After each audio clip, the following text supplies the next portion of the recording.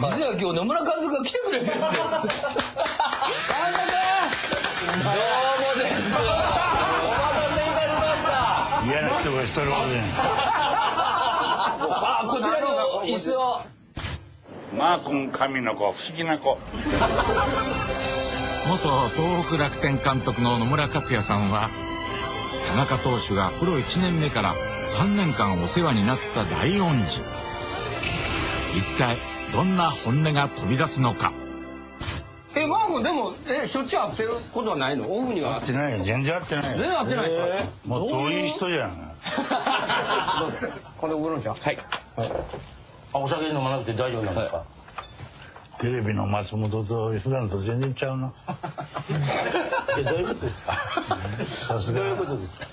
いやこんな無礼な男がねよくよく芸能界で生きてるちょっと待ってくださいよ僕全然無理じゃない一回会ったことテレビで会ったことあるでしょ。あななんとか何回もあるじゃない。俺に挨拶もせんでさーっと帰っちゃったよ。それはダメですねですね。それはダメです。絶対してますよ僕。で浜田さんも発見取られちゃってさ。あいつなんじゃっちゅうな顔して。たじゃんありがとうございます。え今日は何？喧嘩しに来た じゃあ野村さんから礼儀正しい。あ違うんだよ。こいつはうまいんですよ。取り込み方がうまいん。だよ本当一番気にしてるのは僕なんだねえ。いっぺん溜まってたんだよいっぺんあったらこのブレねやつ。そんなに嫌われてたんだやってたよ。マー君はどうやったんですか？最初こんだけ嫌われたもんなんだ最初入団してきた頃はどうやったんですかいや彼はいつも言ってんだけど、、はい。い球団に入ったよ。なるほど。例えば巨人なんか行ってたら、はい。まあ最低でも1年2年は2軍に行かされて、なるほど。楽天ダントツの最下位で、はい。それ彼と縁があって、で使えるか使えないかの判断どうするかなと。思うはい。こいつ全然ちゃんと話聞いてないんですよ。聞いてる。聞い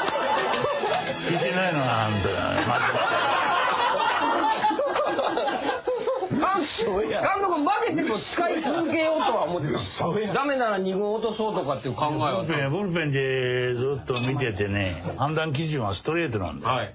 ストレートがいいや速い、い、いコントロールがいいっていうそれで決めるんだけど、はい。これちょっと違ったんだ俺スライダーに惚れたんだよ。そうなんですか？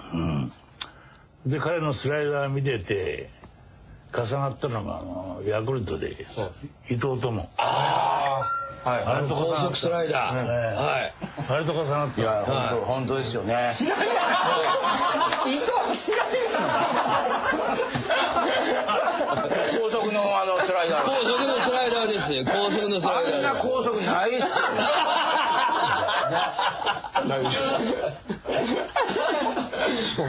でも監督最初の頃よくおっしゃってましたよね。あのマークのこと不思議な子って、ああ言ってたね。はい、なんか点取られても勝っちゃうとか、ピッチャーがいないから先発で使ったんだけど、1年目からね、3回続けてからノックアウトされて。あノックアウトは結構はいありましたね。3試合ダメだったよ、はいはいはそれでまあ記者会見で、ぱり無理かなっていう。なるほど。なんかそれでも我慢して使ったわけでしょ？監督が来てから。ところがね。その基準は、ノックアウトされて降板してんのに、はい。松本さんの話聞いてない敗戦投手にならないんだよ。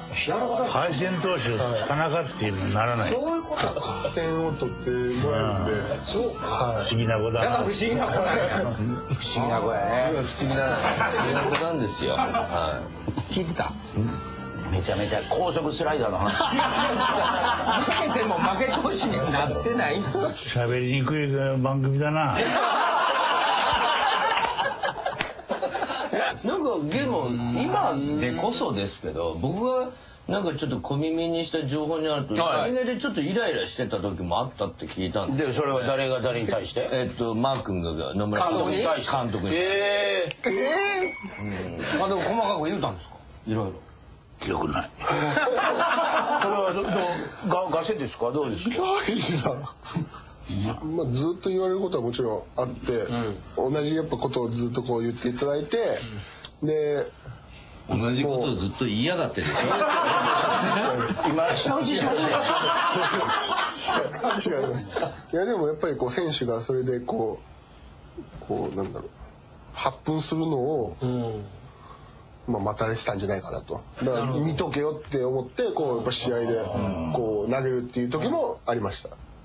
直接は言わないんですか？そ それはないです。いや監督自体ここも狙ってない。よ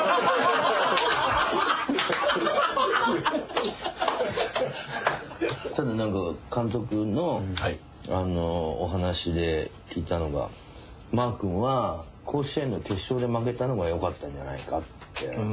あ最後の最後ねうん僕は勝手に思ってんだけど、やっぱりその悔しさがずっとどっか心のどっかにあるはずですよ、それでプロで司会してやろうっていうのはそれがバネになってるってこともあるんじゃないかと。いうのは思ってましたけど。そこどうなの？あでもそれはないわけではなかったです、はい高校野球甲子園の優勝投手でプロで成功したっていうのは昔は全くなかったんで。あそうなんですか？神さんは平等なんで。あ高校でもプロでもいいいい思いはさせない。あは監督あの清原のこと今どう思ってらっしゃるんですか、清原、バカだな。彼がプロ入った時の監督は森なんだよ、はいはいは森にもよく言ったんだけどお前が悪いってああいうふうに育っちゃったのはね。ああああいうふうにっていうのは自由自由奔放わがままに気ままになすがままっていうようなそう育て方をする。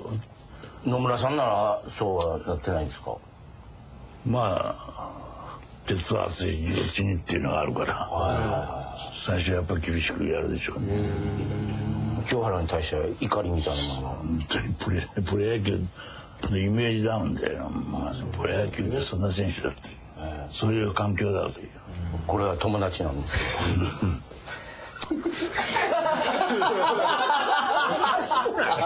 お前さっきからなんかチクってばっかりしてる。ねうんそれはまあ本人も遊び心でちょっとやってみたんだろうけど。